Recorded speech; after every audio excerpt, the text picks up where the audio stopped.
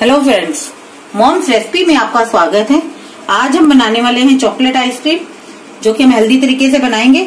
चलिए बनाना शुरू करते हैं। ये ये फ्रीज बनाना है। ये हमने बनाना को पीसीस करके फ्रीजर में रख दिया था दो घंटे के लिए। बिल्कुल अच्छे से फ्रीज हो गए हैं ये। अब हम जार लेंगे। बहुत इजी मेथड से हम बना रहे हैं। इसके अंदर हम ये डाल देंगे। ये सारे बनाना डाल देंगे इसके अंदर।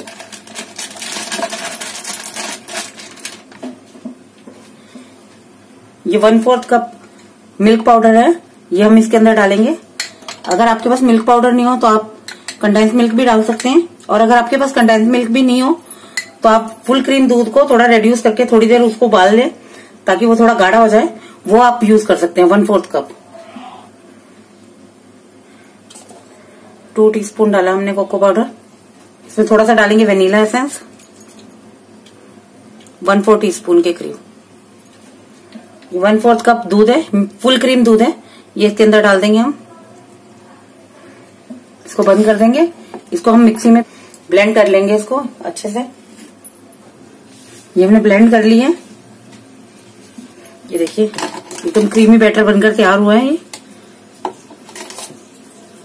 अब हम इसको जमाने के लिए किसी भी एयर टाइट कंटेनर में डाल के इसको जमा सकते हैं, फ्रीजर में रख सकते हैं।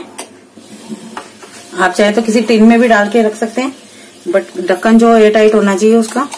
अब हम इस एयर टाइट कंटेनर में इसको शिफ्ट कर देंगे, डाल देंगे इसको इसके अंदर। टैप कर देंगे, जो इसके बबल्स है थोड़े से, वो निकल जाए। इसका ढक्कन लगा देंगे। अब हम इसको फ्रीजर में रख देंगे ओवरनाइट के लिए। अगर आप दिन में जमा रहे हैं तो आप पाँच से छह घंटे के लिए इसको फ्रीजर में सेट होने के लिए रख दीजिए तो ये आपकी आइसक्रीम तैयार हो जाएगी। ये ओवरनाइट हमने फ्रीज में रख दी थी। अब हम इसको खोल लेते हैं। बाउल में निकालेंगे इसको। अब हम इसको स्कूप करेंगे।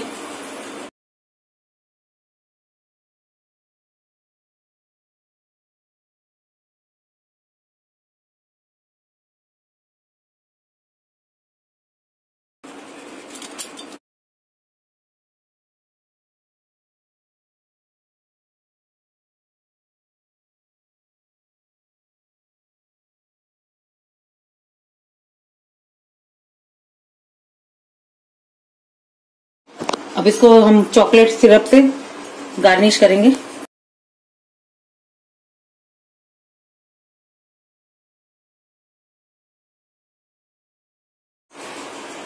हमारी चॉकलेट आइसक्रीम बनकर तैयार है।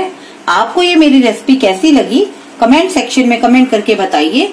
अगर आपको ये मेरी रेसिपी अच्छी लगी हो तो इसको लाइक कीजिए, फैमिली और फ्रेंड्स के साथ शेयर कीजिए। मेरा चैनल अभी तक सब्सक्राइब नहीं किया तो सब्सक्राइब कर लीजिए।